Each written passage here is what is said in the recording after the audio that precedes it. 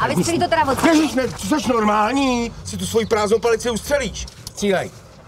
Kurva, Pozve, jsi jsem dalekla. tohle jsi normální. Uvnitř každého velkého příběhu je spousta těch malých.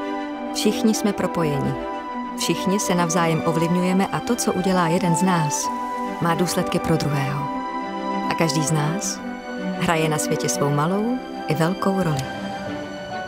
Dneska mám ovulaci. Ale já jsem dneska strašně unavený. Irena otěhotněla hned, tak na ní Ruda hodil trenky. A kde jste pracovala předtím? Hodně eh, po hotelech. Aha, v jaké pozici? Se pořád bojíš, že se ti něco stane? Tak mě jsme zachránila přece, ne? Za tohle mě vezmeš na lodičky. Vypadám jako nějaký teplý námořník, který jezdí na lodičkách.